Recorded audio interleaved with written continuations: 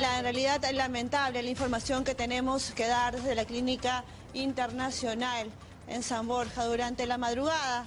Un joven de 18 años, Juan Fabricio Román Rochabrún, recibió un impacto de bala cuando regresaba eh, de su centro de estudios, el Instituto Toulouse-Lautrec, rumbo a la casa de su enamorada. Él habría intentado defender a esta jovencita y es en este, medio de este acto de valentía que recibe un impacto en la cabeza. Fue trasladado inmediato a la clínica internacional, luchó por su vida durante largas horas, estuvo conectado a un respirador artificial y lamentablemente a las cuatro y media de la mañana él falleció. Me acompaña ahora el señor Félix Román, quien es padre de este estudiante. Señor, nuestras más sentidas condolencias por lo que ha ocurrido con su hijo. Muchas gracias. ¿Qué es lo que sabe usted? ¿Cómo han ocurrido estos hechos? Eh, bien, eh, mi hijo eh, es una muy buena persona, valiente. saliendo de su institución, acompañando a su, a su compañera a su casa por, para protegerla, fueron, fueron asaltados. No, la señorita, bueno, se asustó y tiró las cosas y ante esas circunstancias eh, mi hijo instintivamente, tratando de, protegerla, no se dio cuenta que le estaban arranchando las cosas. Y, bueno, aparentemente lo entendieron los delincuentes como poner resistencia y así, sin sin pensarlo, le dispararon a quemarropa un tiro en la cabeza. Ahora, señor, sabemos que en el lugar de los hechos habrían cámaras de seguridad. ¿Esta información ha sido confirmada por ustedes? Bien, la policía ha actuado inmediatamente y ellos ya están en conocimiento de que en, el, en el, entorno hay cámaras de, hay cámaras de seguridad las cuales seguramente ya las van a, la van a solicitar y ojalá pueda eh, verse, visualizarse los autores del crimen. Señor Román, muchísimas gracias. Sí, gracias por estar aquí con nosotros. En realidad admiramos su fortaleza porque debe estar pasando por un momento muy difícil, pero de esta manera también colaboramos con que a que la policía haga su trabajo, que me imagino que es lo que usted espera también, porque no puede ser que su hijo sea un número más en las estadísticas de gente asesinada por la delincuencia. ¿Qué es lo que le pediría usted a las autoridades? Bien, creo que ya está bastante claro para la ciudadanía, estamos en estado de guerra. Estado de guerra no entre nosotros mismos, sino entre la delincuencia y, la, sociedad. No ha sido un lugar descampado, no ha sido un lugar peligroso, es aquí en el distrito de San Borja, ¿no? Eh, a las 10 de la noche. Y, yo me imagino, y, yo me imagino que las personas que tienen que velar por, la, por las otras personas, por los ciudadanos, bueno, no están donde deben estar. Señor Román. Y, ocurren lamentablemente estos acontecimientos. Señor Román, su, hijo era un joven estudiante, nos decía usted que acababa de salir de su instituto. ¿Qué era lo que él esperaba hacer en, la vida? ¿Cuáles eran sus sueños? ¿De qué es lo que él le hablaba a usted? Bien, eh, él eh, tenía muchos sueños, ahora son sueños de la familia. Y bien, él estudiaba diseño de, diseño de videojuegos. Entendemos, entendemos, sí. Con, la idea de, poder entretener a niños sanamente.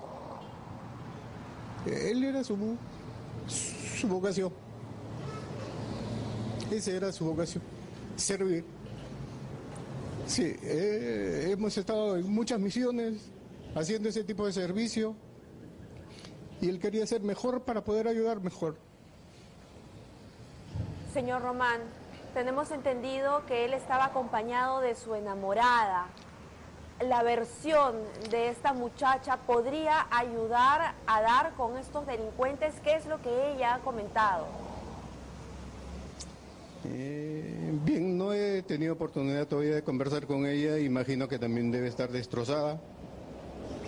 Eh, no creo que sea el, momento para estas cosas. Eh, ya basta con una sola víctima.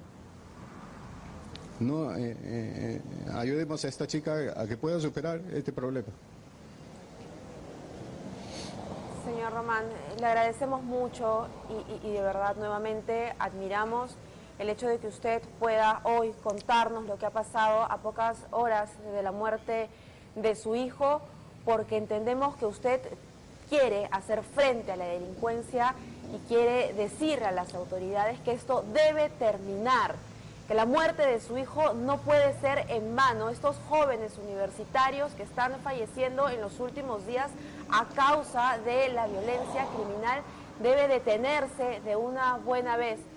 Nuevamente, señor Román, muchísimas gracias, muchísimas gracias de todo corazón por estar esta mañana ante las cámaras. Y Diana, tenemos entendido también que los amigos de este joven universitario están, están contigo. Sí, muchas gracias, señor Román, y le reiteramos nuestras condolencias y, y todo nuestro apoyo.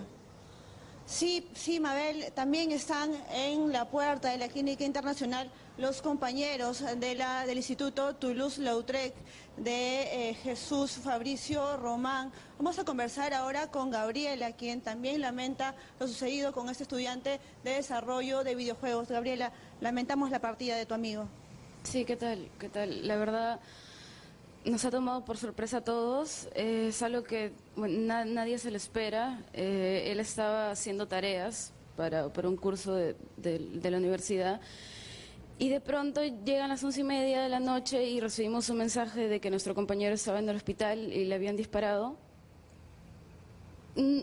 No sabíamos cómo tomar eso. Hemos intentado buscar información, dónde estaba, qué había pasado no sabíamos bien, no podíamos... Minutos antes él estaba desarrollando un trabajo para el instituto con algunos de los chicos que nos acompañan ahora, ¿verdad? Sí, él estaba haciendo un trabajo efectivamente para, para un curso de la universidad y ha ido a acompañar a una compañera y saliendo han venido, aparentemente, bueno, han venido a robarles, les han robado, les han quitado absolutamente todo y después de pura maldad, de puro odio, de pura cólera, porque él intentó defender a su amiga, le han puesto la pistola directamente en la cabeza y le han disparado. De cólera, de odio, porque ya le han quitado todo, todo. No había motivos, no existen motivos para quitarle la vida a un joven con toda la vida por delante. Pamela, Mabel, Diana. El dolor aquí en los exteriores. Sí, te escucho, Mabel. Tenemos entendido que Gabriela ha podido conversar con la muchacha que estaba acompañando a la víctima.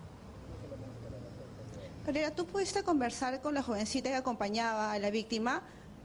Eh, lamentablemente en el momento no. Cuando nosotros llegamos, ella ya se había ido. De hecho, vinimos también para buscarla porque entendimos que estaba muy mal, pero se había ido. Tengo entendido que su mamá le retiró por el hecho de que estaba terriblemente mal. Entonces. Pero existe la versión de que quizá este este joven defendió a su enamorada porque le estaban tocando de manera indebida. ¿Qué sabes tú al respecto? De hecho, sé que ha sido así. Sé que les quitaron todo. Ella entregó todo él también y la estaban tocando, la estaban buscando y él obviamente eso le ha dado cólera y ha saltado a defenderla. Y el, ladrón, esa persona ha dicho, ah, ok, ah, ah, la quiere defender, la quiere defender, ok. Y le disparó. Diana. De puro odio, sangre fría, de pura cólera. Sí, Pamela. Imaginamos que ellos también como estudiantes están muy preocupados por el tema de la seguridad. Ya este es el cuarto caso de jóvenes estudiantes universitarios que son asaltados y que son eh, agredidos, asesinados solamente por robarles un celular, una mochila. ¿Qué conversan entre ellos estos jóvenes sobre lo que está pasando actualmente con el tema de la seguridad? Las consultas de estudios, tú sabes que casi a diario la ciudad es víctima de eh, donde estudiantes como ustedes sufren asaltos a mano armada. Por quitarles un celular terminan con su vida. Ayer le pasó a tu amigo. Sí, sí, y la verdad eso es terrible. Yo no sé sinceramente ¿Qué están esperando para cambiar las leyes, para poner más seguridad? ¿Dónde estaba la policía? Eh, ¿A qué hora se va a poner mano fuerte con esto? Porque yo he escuchado que la gente dice, ah, robo, ah, pero bueno, por un robo no te meten preso, por un robo te sacan a la hora. Entonces, bueno, no pasa nada, pero ¿Por qué es así? O sea, ¿en qué momento va a cambiar eso? Ok, hoy fue una vida, mañana puede ser otra. Esta persona que ha matado a mi amigo va a seguir matando gente. ¿Qué están esperando? ¿Que maten niños? ¿Que maten qué? ¿Qué? Para cambiar las leyes, ¿qué esperan? No sé. No sé, no sé, no sé. Y esa persona lo va a seguir haciendo. Si yo mató a una persona así, a sangre fría, porque, porque me dio cólera, lo va a seguir haciendo. Compartimos la indignación de Gabriela, estamos totalmente de acuerdo con ella. ¿Hasta cuándo? ¿Hasta cuándo? Y ella dice algo muy cierto, lo hacen de pura maldad, porque no se entiende si ya le entregaron las cosas, si ya se robaron los objetos que ellos querían robar, ¿por qué le disparan a este muchacho? ¿Por qué le han disparado a esa muchacha que hoy está en, el hospital debatiéndose entre la vida y la muerte con padres angustiados?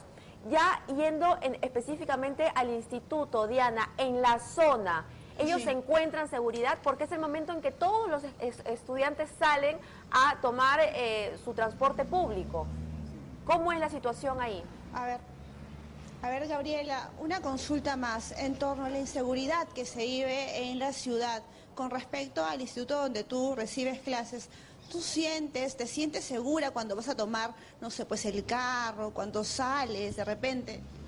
Para nada, para nada. Yo incluso yendo al paradero me muero de miedo, no sé quién está ahí, uno no sabe quién es un asesino, uno no sabe quién es un ladrón, o sea, tampoco puedes juzgar por lo que ves. Tú, puedes ver una persona normal y de la nada te puede robar. Entonces nadie se siente seguro. Todos vamos, en realidad vamos en grupo al paradero. Siempre nos manejamos en grupo. Entonces no hay seguridad. No hay seguridad para estudiantes, no hay seguridad para niños, no hay seguridad para nada. Así como mataron a un universitario, pueden matar colegiales, pueden matar a, a cualquier persona y a sangre fría. La gente está mal. Está mal y se tienen que tomar medidas con eso. De verdad. Bien, Gabriela, muchas gracias. Como ya lo mencionó Mabel, compartimos tu indignación, el dolor también de la familia por la muerte absurda de este joven. La verdad no se entiende cómo es que luego de haber ya entregado sus pertenencias, estos delincuentes terminan acabando con la vida de las personas. Nuevamente gracias también a ti, Diana, por la información y nos sumamos también al llamado a las autoridades para que de una vez esperemos que esta sea la última víctima que tengamos que reportar sobre esta situación. Y la mejor señal que pueden dar las autoridades es capturar pronto a los sujetos que terminaron con la vida de este universitario. Muchísimas gracias, Diana. A ti también.